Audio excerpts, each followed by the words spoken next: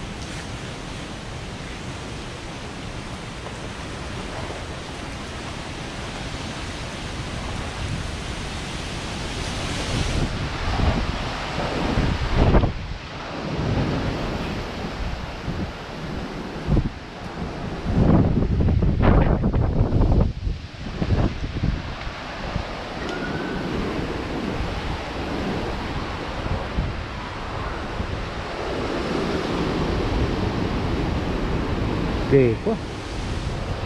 Cơn bão số 9 năm 2020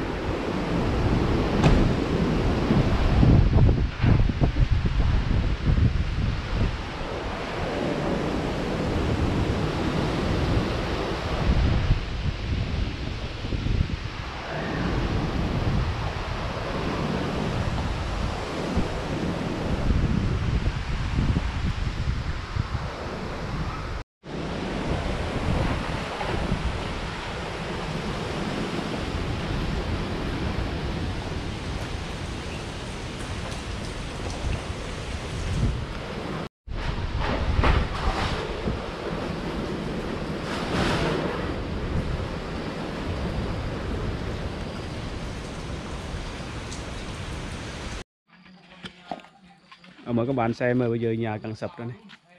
Do cơn bão số 9 vượt qua đó.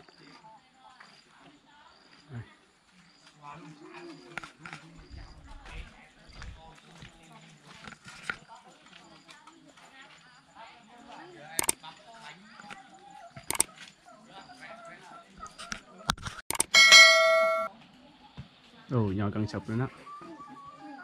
Cũng may hai mẹ con của bà dưỡng nay